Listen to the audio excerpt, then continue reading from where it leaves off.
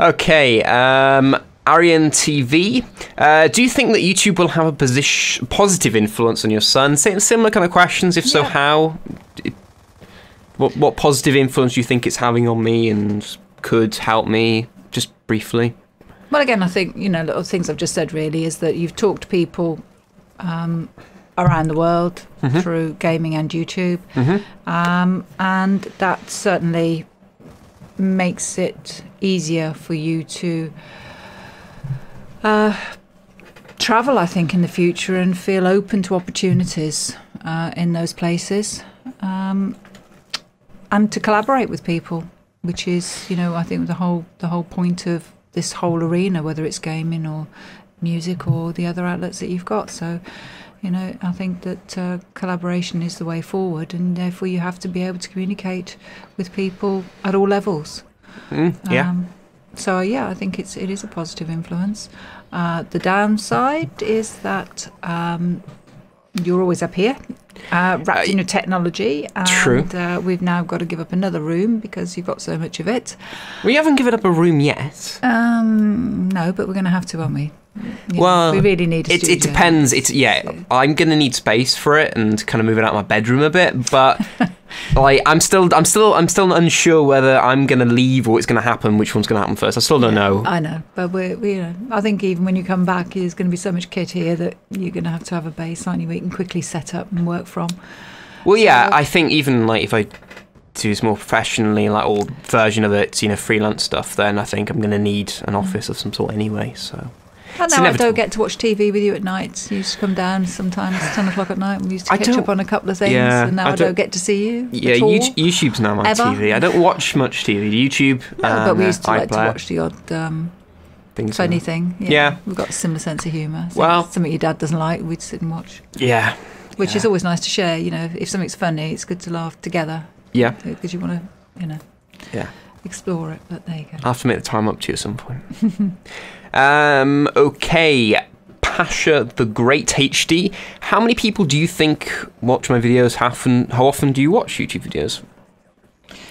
Um, I wouldn't even be on YouTube if it wasn't for you. Yeah. Um, and I've I have used them for great effect um, because of you know suffering with back pain, and then I've gone and explored something, and then they've suggested other ones to me, and so I'm I've you know I'm only very very very very touching the outskirts of what its capability is, yeah.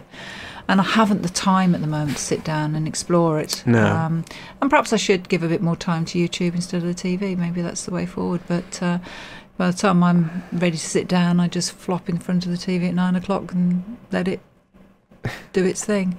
so um, I think. Well, I've forgotten the question. What was it? What do I think? well, how many people do you think watch my videos, and how often do you watch I- YouTube videos? I watch yours more than anybody. Then on a Friday nights at mealtime, we often you come down, don't you, and you put things on and we explore. And I'm really impressed. You'll find new musicians, and we Mm-hmm.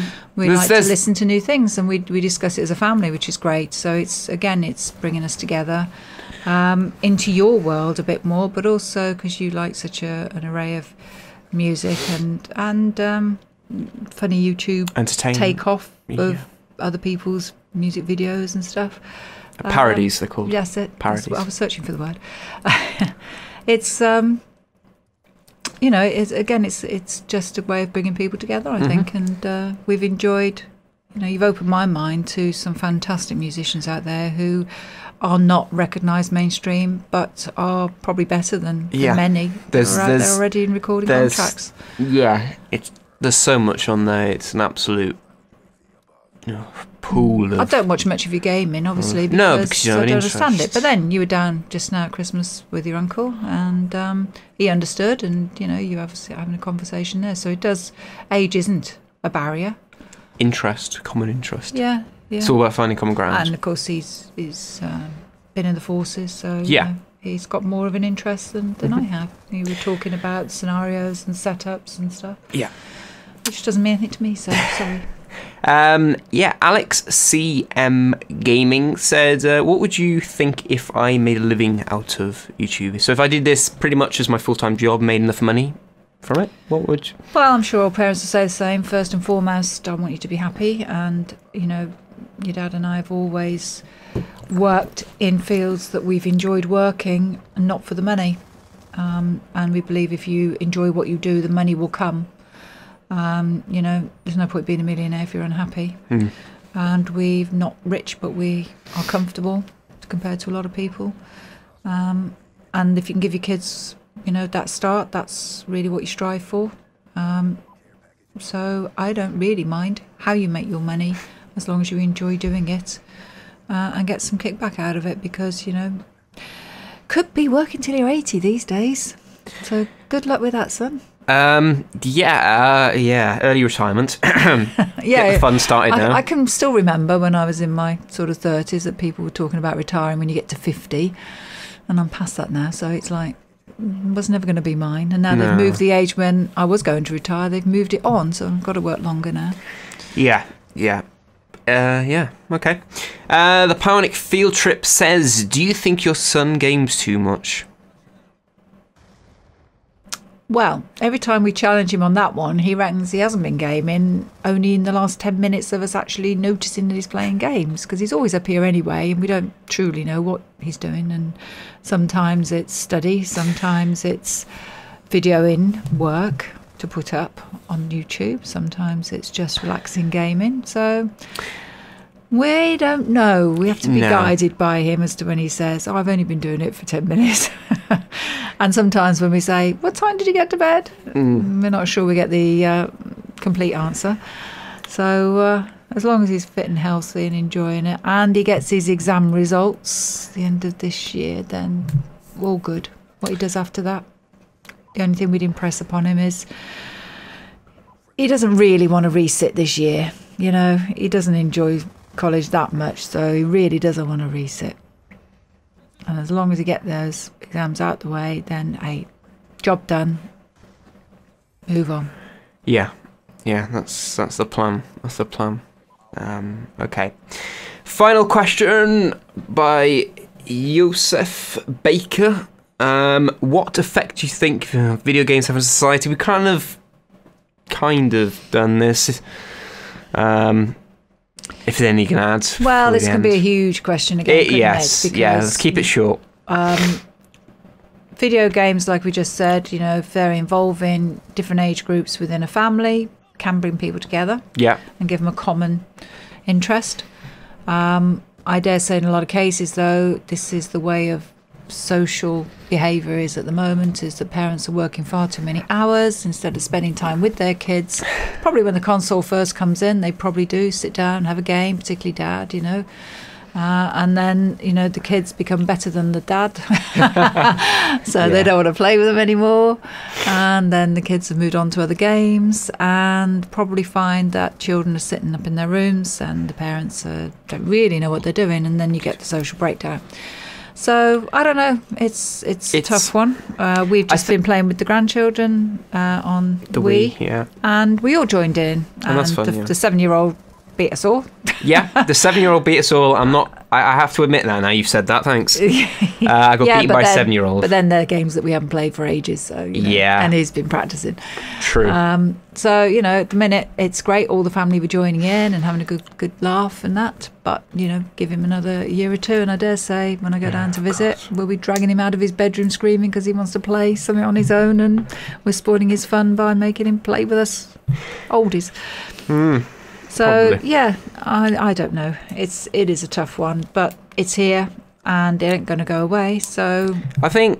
I think like I think really it's just the social balance that Yeah. know, we're all just work too hard and we don't know how to play together anymore. And communicate. it's easier sometimes for a parent just to let it, you know, just Oh, let them go up in their absolutely. room It's- than it yeah, is it's to a do. You babysitting know. device, isn't it? You Yeah. know, they're occupied. They haven't got to worry about them. Yeah, And you know whether it's video games or the TV or some other such thing.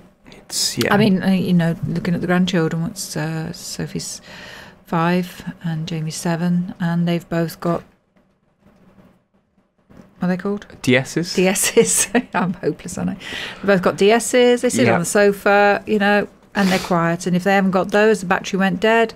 Nan, can I have your phone? Can I play Angry Birds? Yeah. you know. Yeah. And they're just constantly, if we're out, we're out for a meal, can I borrow your phone? Yeah. What games have you got?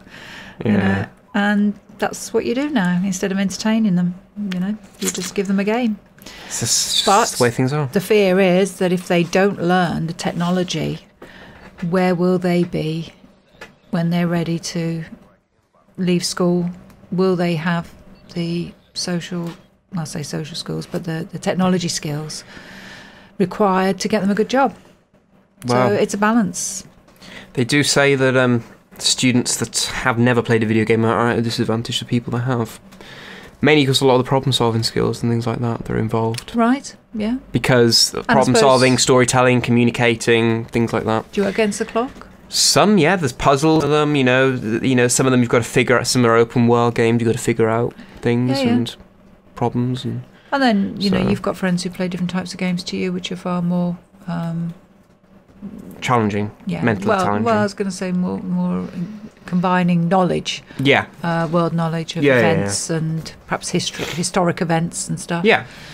Depends on what you play, I suppose. Yeah. Um, yeah, I did actually lie. There's another question that wasn't written down, but I remember someone mentioning it to me. It's by uh, Crazy Randoms, and he's asking uh, a popular question. Well, it's a hot topic. You'll like the joke when you when you get the question. Um, how do you like your tea? I like mine. Literally, if you could have it any way possible, if you're telling someone to how to make it for you, like any preferences? You know I'm terrible with my tea. Yes, yes. Uh, I prefer it in a teapot always. I like it to brew. These people who put a tea bag in and just put hot water on it and then take the tea bag out are wasting their time.